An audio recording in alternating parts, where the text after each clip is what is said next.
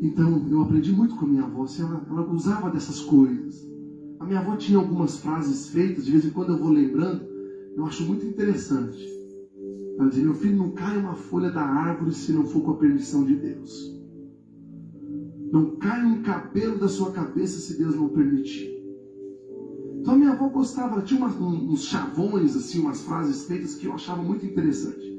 Eu aprendi isso com ela. Então, tudo na minha vida, desde quando eu acordo até quando eu vou dormir, todos os acontecimentos na minha vida naquele dia, até aqueles mais bizarros, eu sempre procuro meditar, refletir, aprender. Até uma mensagem que eu recebo às vezes no celular, no WhatsApp, ou às vezes até um vídeo. Eu não gosto desses vídeos, dessas coisas, desses quadrinhos que o povo me manda, eu não gosto.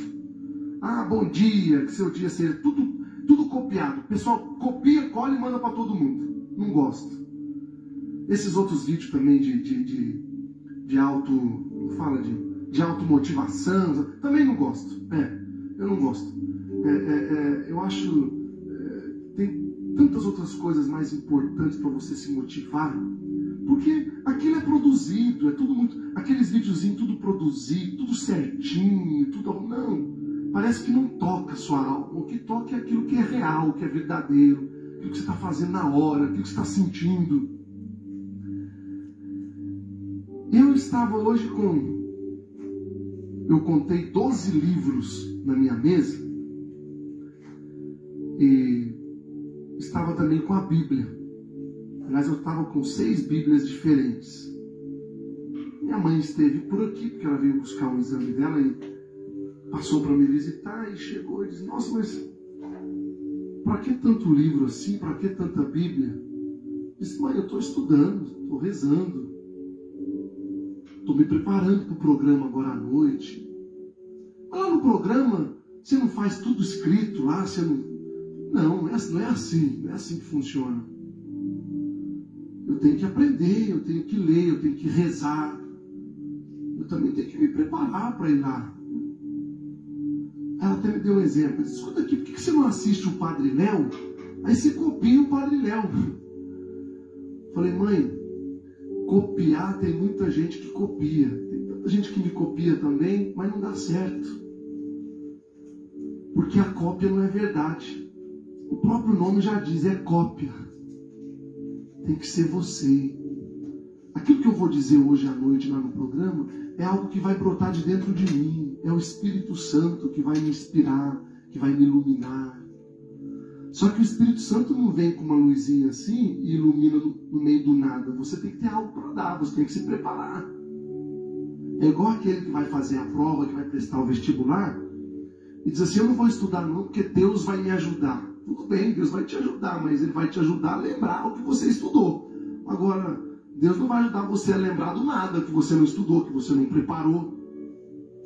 É assim a nossa vida. Então, eu vim refletindo sobre isso hoje durante o dia, sobre esses acontecimentos.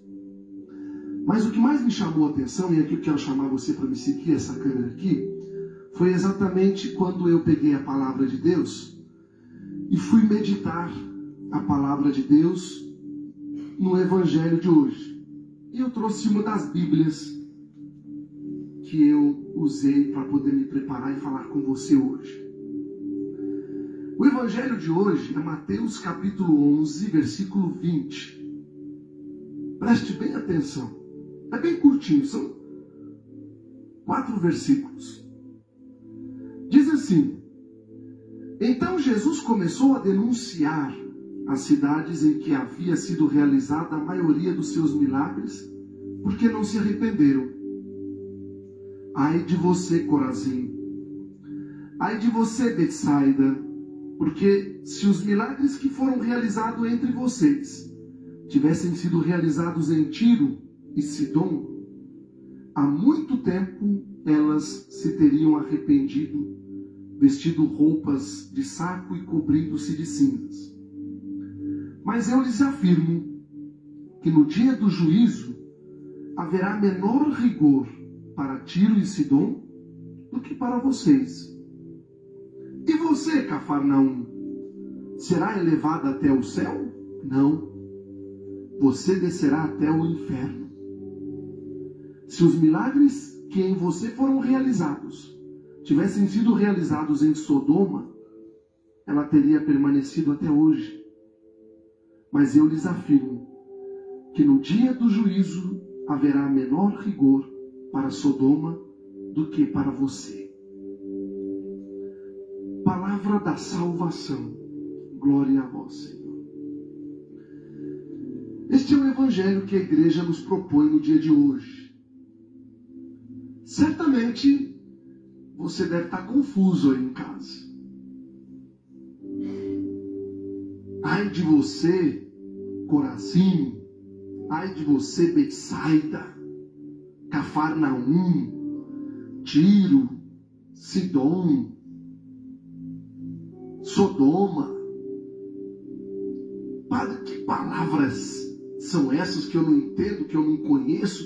O que, que Jesus está querendo nos dizer com essa palavra? Veja que coisa interessante. As crianças são bastante conscientes do fato de que não têm poder sobre a própria vida. Elas dependem dos seus pais. Ela depende da mãe para tudo. A criança, ela é totalmente dependente da mãe. Ela não tem poder sobre a própria vida. Meu irmão, você precisa de Deus para tudo nessa vida. Você é totalmente dependente dele, de Deus.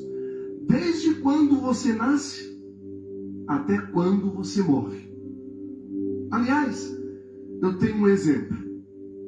E eu vou lhe provar que você precisa de Deus. Quando você nasce, você chama o padre para dar a benção nos seus primeiros meses de vida, você é batizado. Depois, quando você começa a crescer, vem a catequese e a primeira comunhão. Quando você está jovem, vem o crisma.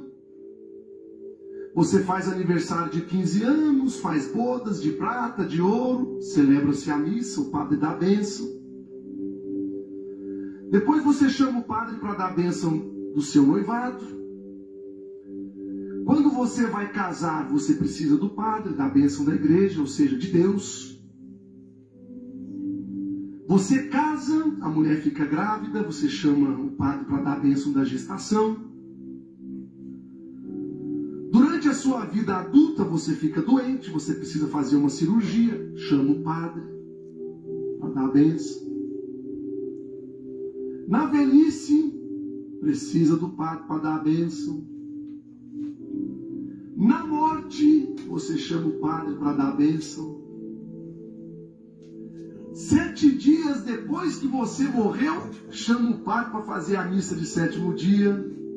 Veja, até depois da morte, você precisa do padre. Você precisa de Deus. Algumas pessoas ainda celebram a missa de um mês de falecimento. Outras celebram a missa de um ano de falecimento. Não adianta. Você depende de Deus, mesmo quando você acha que não depende mais. Que coisa espetacular.